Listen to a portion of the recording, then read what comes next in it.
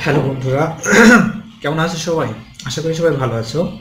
তো আজকে তোমাদের আমি দেখাবো সাত নম্বরের যে একটা বাকি ছিল, সেই তিন নম্বর অঙ্কটি তো দ্বিতীয় এক এবং দুই নম্বর অঙ্কটি তোমাদের আগের ভিডিওটিতে আমি দেখিয়েছি, এখন দেখাবো তিন নম্বর অঙ্কটি তো দেখো, তিন নম্বর অঙ্কটা আমরা খুব সহজে করে ফেলি।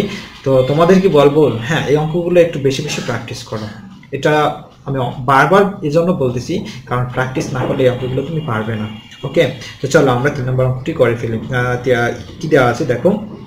দেওয়া আছে যে one by one plus sine square A plus one by one plus cosec square A equal to one এটা আমাকে প্রমাণ করতে হবে।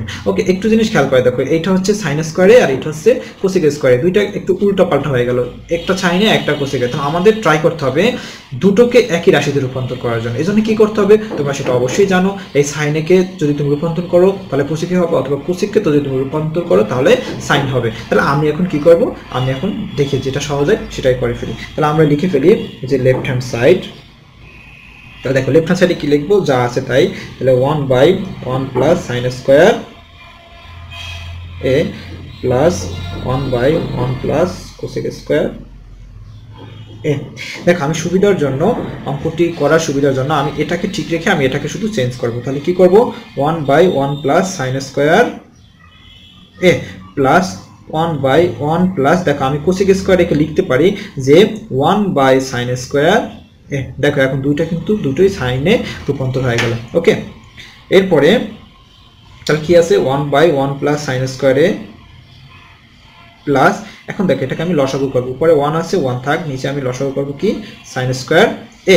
তাহলে আমি যদি উপরে লসাগু করি, এখানে one by one plus sine square A ছিল প্লাস ওয়ান বাই তাহলে এখন দেখো আমি এটাকে যদি লসাগু করি, তাহলে কি হবে? সাইন স্কোয়ারে তাহলে এখানে কি আছে? Sine square A plus one এটা হচ্ছে আমাদের লসাগু, তাই না?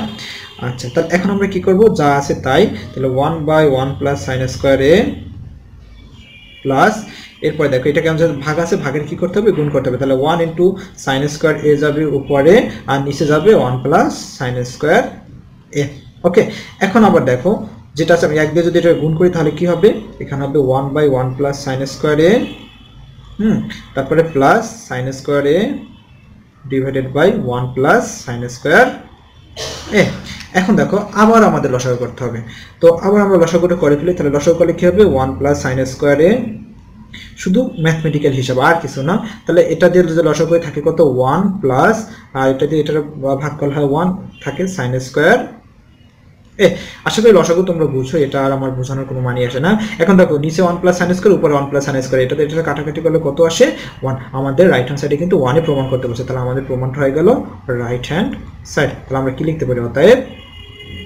Left hand side equal to right hand side shoot শুট নাকি প্রুভড আচ্ছা প্রুভড যেহেতু প্রমাণ করতে বলছে, অবশ্যই প্রুফড তো দেখো left hand side equal to right hand side proof অঙ্কটা কিন্তু খুব ইজিলি করে দিলাম।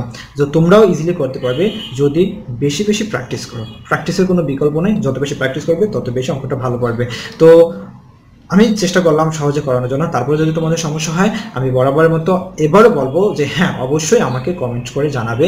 এছাড়াও যদি তোমাদের এই অধ্যায় ছাড়া অন্য কোনো অধ্যায়ের অঙ্ক প্রয়োজন হয়, তাহলে সেটাও আমাকে আগে বলবে। আমি ট্রাই করব সেই অঙ্কগুলো তোমাদের আগে দেওয়ার জন্য। আমি এখানে সিরিজ ভিডিও করতেছি যে, প্রত্যেকটা অঙ্ক আমি তোমাদের পার্ট বাই পার্ট আকারে দিচ্ছি। তারপরেও যদি তোমাদের কোনো অঙ্কের বা কোনো চ্যাপ্টারের ভিডিও খুব এমার্জেন্সি প্রয়োজন হয়, তাহলে অবশ্যই আমাকে ইনফর্ম করবে। তো ঠিক আছে, আমাদের সাথেই থাকো চ্যানেলটি সাবস্ক্রাইব করে রাখো। ভালো থাকো খুদা হাফেজ।